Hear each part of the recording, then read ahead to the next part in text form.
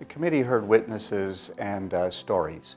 And through those witnesses and stories, we recognized that uh, this whole process was a life cycle. It was about a continuum of care. And the focus needed to be on patients. So we have a patient centered approach. And by having physicians sort of leading off as the title, uh, did not represent the breadth of understanding that we had. So we very quickly recognized that this is about a holistic approach, a continuum of care, and making sure that the patient, his or her needs, her, his or her desires, and his or her um, uh, end of life questions would be honored in our report. Well, the Supreme Court of Canada, um, over a year ago, made a decision, and they were asked to, uh, to speak on whether or not it was uh, within a person's rights to uh, seek uh, medical assistance in dying. And uh, so those cases, that case was brought, actually two cases were brought to the Supreme Court, and Supreme Court had a unanimous decision a year ago February, a year ago this month, that um, said that the, the parts of the criminal code that uh, made it illegal uh, to have a process where you could have medical assistance in dying did not stand up to the Charter of Rights and Freedoms. And so the Canadian Charter, that, that foundational piece of, of legislation that makes us Canadian, uh, needed to, uh, to be in, in, input into our dis discussions about this. And that's the way it, um, it came about. And so the, the, Supreme Court gave us one year. Uh, we had an election in the middle of that, and so that we had to extend it. Uh, we got a four-month extension, and now we have a report, which is a discussion paper. The committee, I would say our work wasn't rushed but as people we were rushed. So what we did was we uh, started our work in the middle of January and we really had about a month, um, but we did the equivalent of about four or five months study. And this was okay because we had work done. Uh, Quebec had done six years of study before they uh, developed their system of aide médicale à mourir in Quebec. Um, we had a, an external uh, panel report that the previous federal government had commissioned. We had a uh, provincial territorial uh, report that had hearings across the country. And we had the CMA, the Canadian Medical Association, had done its studies, as well as several other studies, as well as international experience from Belgium and the Netherlands and Luxembourg and Switzerland and some American states. So we had a large body of material.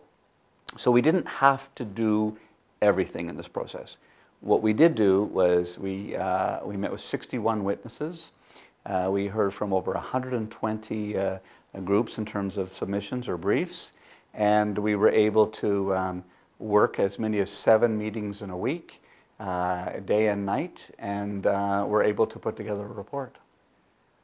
There wasn't a day that when we were listening to testimony or a moment when we were writing the report that the needs of the vulnerable weren't foremost in our minds.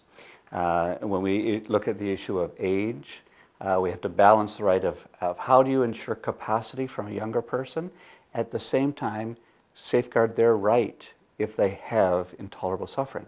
The same with people with mental uh, disabilities, with emotional problems, that we have to balance to ensure that there are safeguards in our system uh, where they are protected from any undue influence, at the same time guaranteed the right that anybody who wasn't disabled or is not vulnerable has. This can't be a second um, a problem that they need to face in life if they have enough problems in their own. So we have safeguarded them, and we are insured. Uh, we're ensuring that uh, the system is in place, that that every Canadian has equal access, and every Canadian is equally protected. So I think what the steps are is, is we've presented a report in Parliament. Um, that's been tabled in the House of Commons and in the Senate. And I might say that it's, it was, I think, particularly brilliant um, to have the Senate and the House of Commons work together.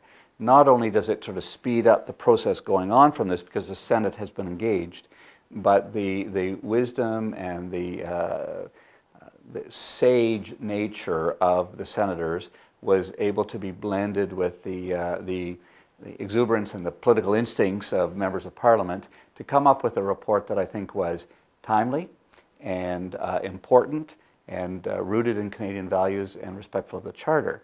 So we take that report now, we present it to Parliament, and the government then has the option. I mean, obviously the government isn't bound by a report, it's a policy piece. Uh, it's a suggestion of a federal framework, um, and the Minister of Justice will, I'm hoping, consider the report as she drafts legislation uh, to changes to the criminal code and begins negotiations with the provinces and territories for their part in this. We heard consistently that people want a federal framework. Uh, they don't want a patchwork across the country, so they're looking uh, for federal legislation that um, harmonizes the experience and ensures that Canadians, coast to coast to coast, have equal access to uh, assistance in dying.